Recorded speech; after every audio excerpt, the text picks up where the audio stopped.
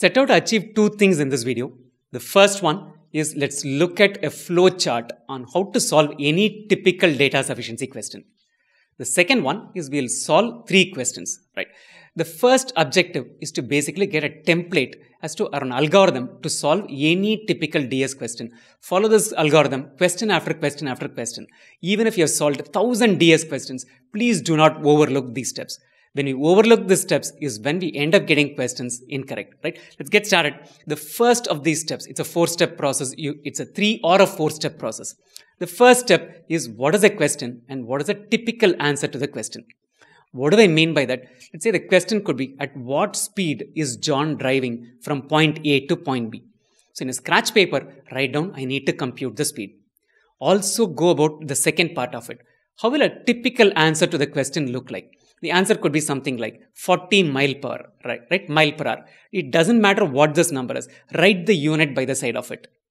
So after evaluating the statements, let's say you get a unique value. You get something like John had driven 48 kilometers. You got a unique answer, but you got the answer for the distance that John had driven, not the speed at which John had driven. So writing this 48 mile per hour and getting an answer which is 48 kilometers will tell you very clearly that you do not have the answer to the question that is asked. It becomes even more critical when we have something like a be verb question. If you have a question which starts with an S, which says, is n greater than 0?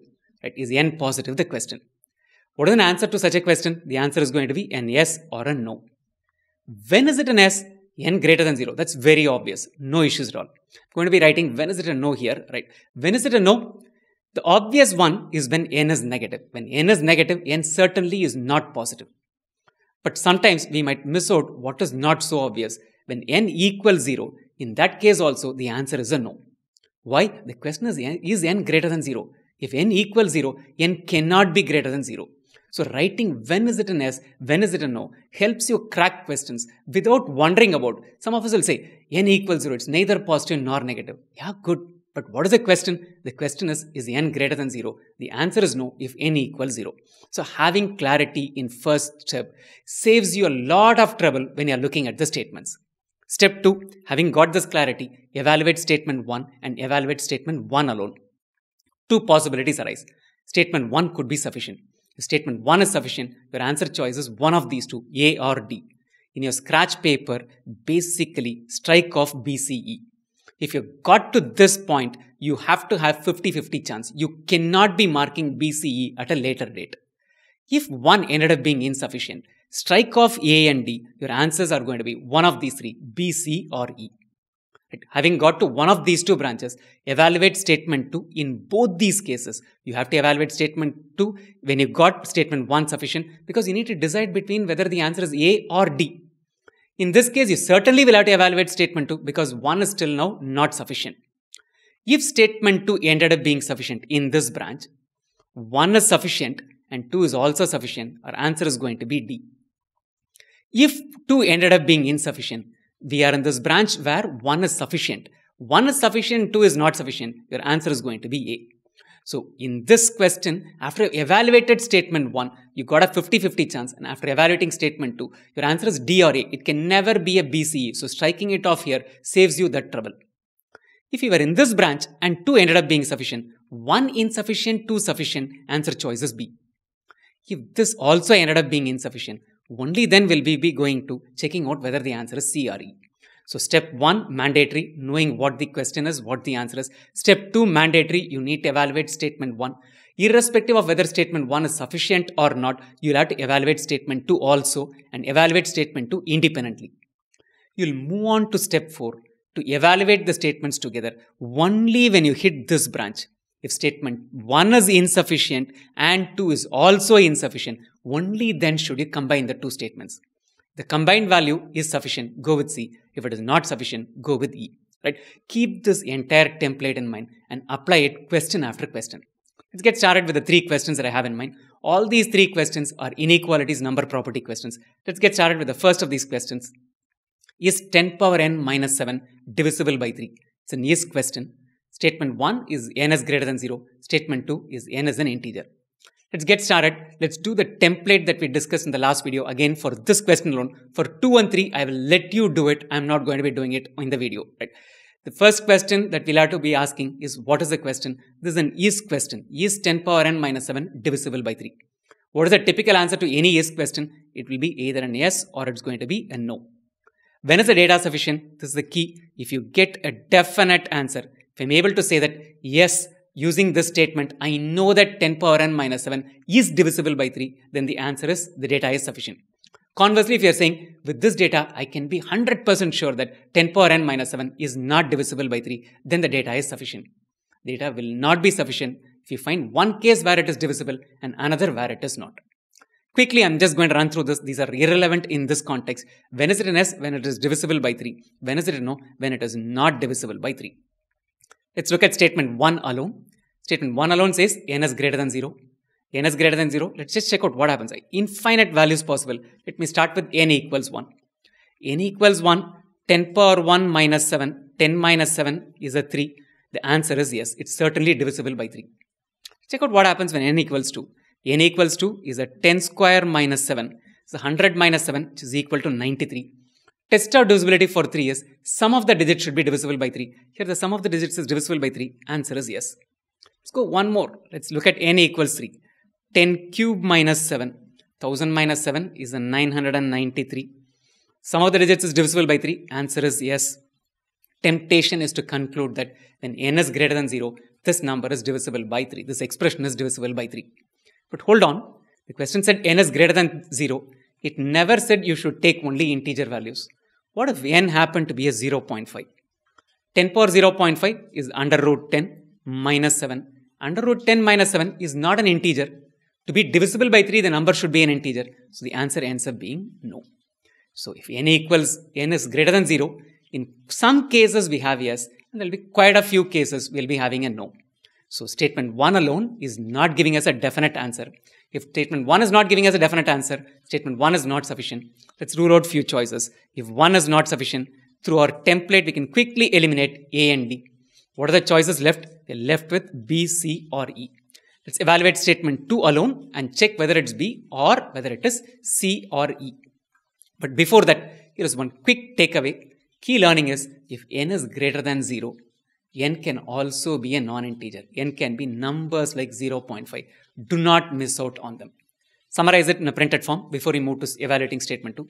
n greater than 0, n is equal to 1, answer is yes. n is equal to 1.5, answer is no. We don't have a definite answer. 1 alone is not sufficient. Eliminate choices A and D. Our choices narrow down to B, C or E. Let's evaluate statement 2 alone. n is an integer. n equals 1 Answer is yes. We have already done it. 10 power 1 minus 7 equals 3. Answer is yes. n equals 2, 3. All of those cases it works. But hold on. says n is an integer. Integers include negative values. When n equals minus 1, we'll have a 10 power minus 1 minus 7. This is 0.1 minus 7, which is a minus 6.9. A negative 6.9. A number has to be an integer to be divisible by 3. This is not an integer. So this is not divisible by 3. So if n is an integer, do not forget cases where n could be negative. Statement 2 is also not giving us a unique answer, a definite yes or a no. 2 alone is not sufficient. At the end of evaluating 1, we ruled out AD. We were down to B and CE, B or C or E. Now we realize that 2 is also not sufficient. Let's eliminate B. Here is a quick takeaway. Key learning is if n is an integer, n can be negative or n could very well be 0. Don't look at only positive integers. Summarize it and let's move on to combining the two statements. If n is an integer, could take infinite values. For n equals 1, the answer is yes. For n equals minus 1, the answer is no. No definite answer. The end of evaluating statement 1, we were down to B, C or E because 1 was not sufficient. Eliminate B because 2 is also not sufficient. We are down to C or E. To check whether it's C or E, let's combine the two statements. n is greater than 0 and n is an integer, which means n is a positive integer. We have realized that for positive integer values, 10 power n minus 7 is always divisible by 3. Statements together are sufficient. Statements together are sufficient. At the end of evaluating statement 2, we were down to C or E. Together they are sufficient. So eliminate E. Answer choice C is the correct answer. N is positive, n is an integer, combination is n is a positive integer. For positive integer values, 10 power n minus 7 is always divisible by 3. Together statements are sufficient. Eliminate E. Choice C is the answer. So takeaway in reiterating, if you realize that a number is greater than 0, it can include non-integer values. Do not ignore them. If n is an integer, it could include negative values and integers. The second takeaway. Key thing to note, this is an important point which I want to leave you with. Always look for exceptions in any of these scenarios. If it says n is greater than 0, look for expressions using this acronym f FNZI. F stands for fractions. Will it work for fractions too? N for negative. If a number is an integer, can it be negative? Can it be 0? Finally, check to see whether it will work for integer values. Right? Always look for exceptions using FNZI. So, more to the second example. If n is a positive integer, is n greater than 3? Don't forget such key information given in the question stem. Right? This could make a big difference to what the answer is. Do the template, answer those five questions before you look into statement 1. I'm going to jump to statement 1 right away. Statement 1 says n square is greater than 9. I'm writing this down in your scratch paper too. Please write it down so we don't forget this key information. n square greater than 9. What's the solution? Answer is got two possibilities. n could be a number which is less than minus 3. Take a minus 4. Minus 4 square is greater than 9. Right? Minus 4 square is a 16. It's greater than 9. Or n could be greater than 3. So two possibilities exist when n square is greater than 9. Now let's plug in the information from the question stem. It says that question stem states n is a positive integer, which means it cannot take values which are less than minus 3. So what are we left with? We left with n greater than 3. Is the, what is the question? Is n greater than 3? Statement and the question stem together point to the fact that n is greater than 3. So we have a definite yes as an answer. Statement 1 alone is sufficient. Statement 1 alone is sufficient. Can you narrow down choices? 1 sufficient. Eliminate B, C, E. We are down to A or D. Summarize it and move on to statement 2. n square greater than 9 means n is greater than 3 or n is less than minus 3. Together with the information from the question stem that n is a positive integer, n less than minus 3 is not possible, which means n is greater than 3. We have a definite yes. Definite yes, eliminate choices B, C, E. We are down to A or D. To decide whether it is A or D, let's evaluate statement 2 alone. Says root n is greater than 1.5. And we know that n is a positive integer. Square both sides will translate to n is greater than 2.25. Get conversant with finding out squares of numbers like this. 15 square is a 225, so 1.5 square is a uh, 2.25. n greater than 2.25, n is a positive integer. What all values can it take? Let's start with the smallest value that I can think of. n equals 3 is a possible value. It's a positive integer greater than 2.25. n could be a 40, n could be a 90. Infinite values are possible. If n equals 3, is it greater than 3? The answer is no. If you had written when is it an yes, when is it a no in the template, you would have figured this out without batting an eyelid. n equals 3, n is not greater than 3, answer is no.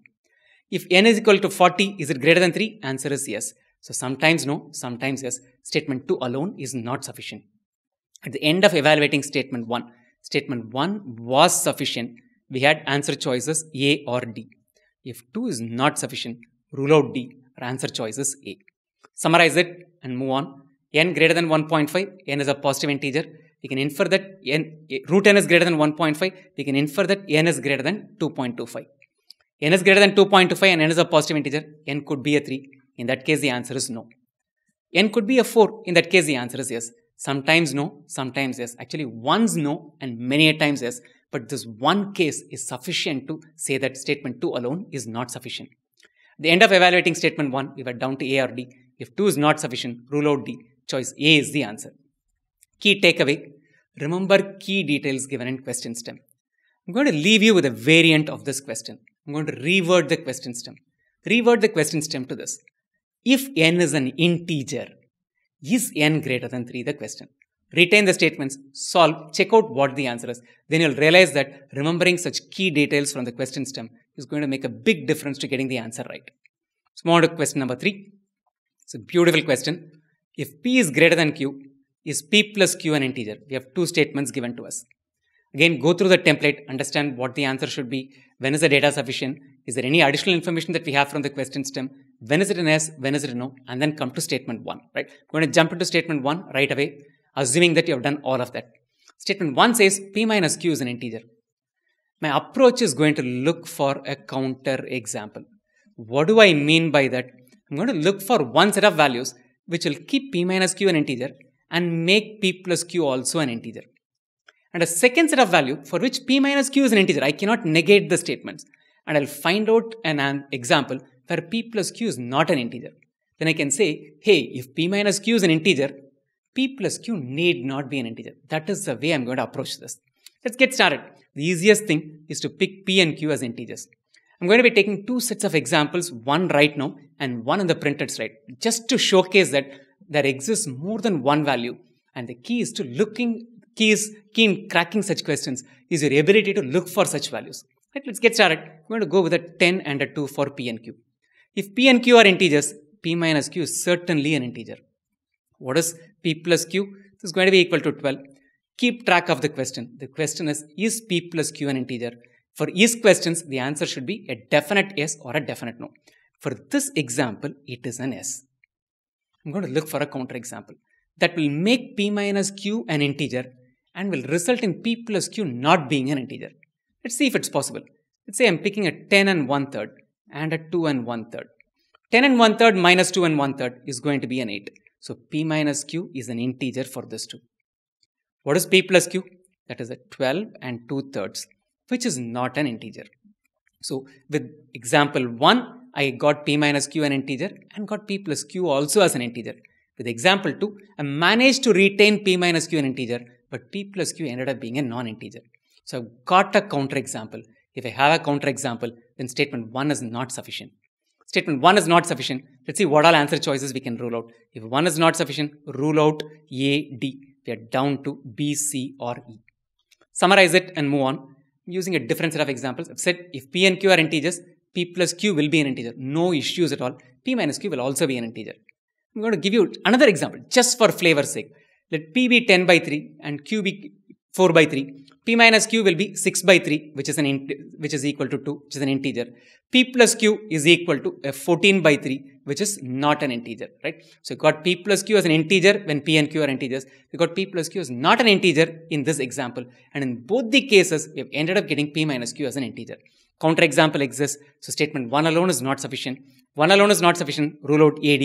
Answers boil down to B, C or E. Let's evaluate statement 2. p plus 2q is an integer. We're going to run through the same exercise. We're going to look for a number where approaches the same. Counter example is my approach. Take P and Q as integers. That's the easiest one to get yes as an answer. P, P and Q are integers. We, have, we can make P plus 2Q an integer. And we'll also get P plus Q as an integer. We'll keep track of the question always. So it's a 10, 2. I'm not going to sweat much. I'm going to go with the same numbers. 14 is the answer. Here 12 is the answer. The answer is yes. Is P plus Q an integer? Yes is the answer. I'm going to take the same 10 and 1 third and 2 and 1 third. Let's check out what happens to P plus 2Q is going to be a 10 and 1 third. 2 times 2 and 1 third is a 4 and 2 thirds. So 10 plus 4 is 14. 1 third plus 2 third is another 1. So this is a 15. This continues to be an integer. What is the value of p plus q? This is going to be a 12 and 2 third. Is it an integer? No. Look at it. In both these example sets, we have managed to get p plus 2q an integer, which is what the question statement number 2 is saying. In one case, p plus q was an integer in another p plus q is not an integer.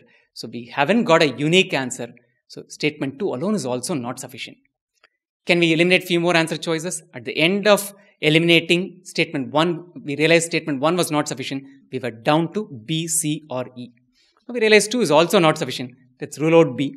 Our answer choices are down to C or E. Summarize before we move on to combining the statements, right? I'm giving you one more set of examples. If p and q are integers, p plus 2q will be an integer and p plus q will also be an integer. Let's not even bother about it. Going with 10 by 3 and 4 by 3. 10 by 3 plus 2 times 4 by 3 is an 8 by 3. 18 by 3 is equal to a 6. So p plus 2q is an integer for this set of values. P plus q is going to be a 14 by 3. The answer is no for this.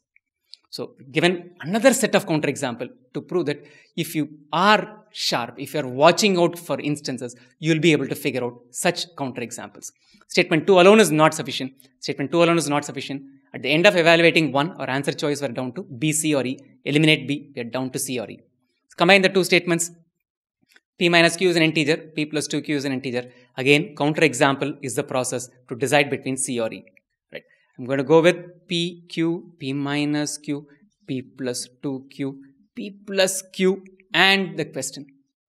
Take both of these as integers, 10 and 8. Right. We went, or 10 and 2, we'll go with this. 10 and 2, p minus q is going to be an 8. p plus 2q is going to be equal to a 14. p plus 2q is a 12. So answer is yes. So for this example, if p and q are integers, everything is going to be an integer. p minus q is an integer, p plus 2q is an integer, p plus q is an integer. Now what happens if this is a 10 and 1 third and this is a 2 and 1 third? p minus q will be an 8 because the 1 third 1 third gets cancelled. 10 minus 2 is an 8. We realize this is going to be equal to a 15 because 10 and 1 third and 4 and 2 thirds will be a 15. So made these two as integers. This is going to be equal to a 12 and 2 third which is not an integer. So we've got a counter example maintaining both these as integers and in one instance p plus q was an integer and another p plus q was not an integer. So despite combining the two statements, we've not been able to come up with a conclusive answers. Statements together are not sufficient. We ended up with a C or a E. C is not the answer. E is the answer. Let's summarize and wind up. When P and Q are integers, all of these are going to be integers. P minus Q will be an integer. P plus 2Q will be an integer. P plus Q will be an integer. Answer is yes. For flavor's sake, we have a second example, 10 by 3 and 4 by 3. 10 by 3 minus 4 by 3 is going to be a 2. This is an integer. 10 by 3 plus 2 times 4 by 3 is a 6. That's also an integer. 10 by 3 plus 4 by 3, p plus q is a 14 by 3. The answer is no. So despite combining, we don't have a unique answer. We don't have a definite yes or a definite no. We have sometimes yes, sometimes no. Rule out C. Answer choice E is the correct answer. Right. Quickly, what is the key takeaway from this? The key takeaway is your ability to find out a counterexample. So look for counterexample. Always keep this in mind. FNZI is going to be an acronym to find out these counterexamples. Right. The other thing is, if you could not do this, there is also an algebraic way of going about the same thing. That's going to be a little more cumbersome, little more time consuming. Right. Having done this, sign up as a trial user and try the GMAT online course offered by Wizako the URL to visit is gmat.wizako.com. Right? Everything is covered in detail. It's a very comprehensive course. Check it out today and subscribe to this channel to get updates on GMAT Prep. Best wishes.